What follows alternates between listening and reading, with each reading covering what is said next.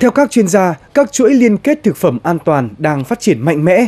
Chuỗi liên kết này không chỉ mang lại giá trị kinh tế cao cho đơn vị sản xuất mà người tiêu dùng cũng được hưởng lợi.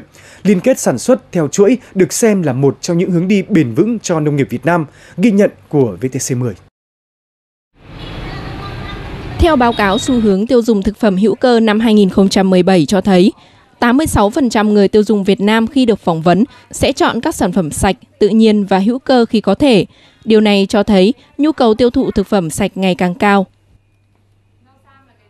Mà không phải riêng tôi mà tôi nghĩ là rất là nhiều người bây giờ, nhất là cái tuổi lớn bọn tôi là phải đi truy tìm những cái thực phẩm sạch. Cho kết luận cuối cùng là chấp nhận cao hơn nhưng mà ăn sạch để đảm bảo về cái an toàn vệ sinh thực phẩm cũng như là sức khỏe cho gia đình cũng như là cho mọi thành viên trong gia đình. Sản xuất sản phẩm đạt tiêu chuẩn sạch an toàn và thực phẩm hữu cơ đang trở thành xu hướng tất yếu của ngành nông nghiệp. Theo ghi nhận thời gian qua, đã có nhiều mô hình về liên kết với hợp tác xã, hộ nông dân, tổ chức chuỗi cung ứng nông sản thực phẩm an toàn quy mô lớn. Điển hình như tập đoàn Vingroup triển khai chương trình liên kết với 1.000 hợp tác xã. Công ty cổ phần Hùng Nhơn đầu tư hệ thống trang trại theo tiêu chuẩn Global Gap. Ngoài ra, các doanh nghiệp nhỏ và vừa trong ngành phân phối thực phẩm sạch cũng chọn cách liên kết với các nông dân xây dựng các trang trại nông nghiệp hữu cơ.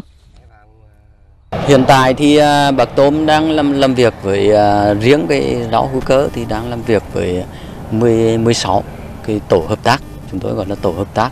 Thì trong đấy có một số à, mà tổ hợp tác mà phát triển lên thành hợp tác xã, một số thì chúng tôi gọi là tổ hợp tác với cái, cái số thành viên là trung bình từ 5 cho đến 12 hộ thì hiện tại là chúng tôi đang làm việc với khoảng là 135 hộ nông dân. Hợp tác xã rau hữu cơ Bái Thượng hiện có 8 nhóm sản xuất với 50 hộ gia đình, diện tích canh tác 6,4 hecta đất nông nghiệp. Trung bình, mỗi tháng hợp tác xã đưa ra thị trường từ 10 đến 20 tấn rau củ quả các loại. Lợi nhuận thu về khoảng 1 tỷ đồng. Sau khi trừ các chi phí, mỗi thành viên có thu nhập khoảng 5 đến 7 triệu đồng một tháng. Sản phẩm rau hữu cơ thôn Bái Thượng, xã Thanh Xuân chủ yếu cung cấp cho các đơn vị phân phối thực phẩm sạch với giá bao tiêu. Tham gia sản xuất hữu cơ thì ờ, bản chất người sản xuất là những hộ gia đình thì họ cũng nhận thức được rằng là cái trước hết là tốt cho chính bản thân họ vì họ được sản xuất trong môi trường sạch.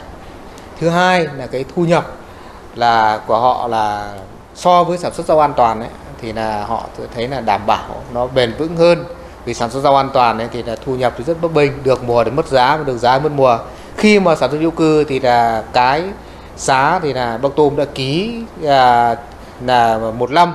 Thế nhưng mà chúng tôi làm 5 năm nay rồi chưa thay đổi giá. Bắt đầu từ mùng 1 tháng 4 thì là bác tôm lại tăng giá lên cho bà con.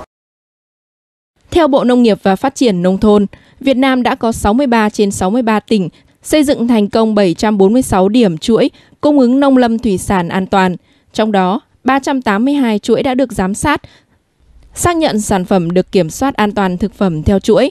Tuy nhiên, so với nhu cầu tiêu dùng, nông sản thực phẩm an toàn vẫn chưa đa dạng về chủng loại, còn thiếu các địa chỉ cung ứng nên người tiêu dùng chưa có nhiều cơ hội để tiếp cận.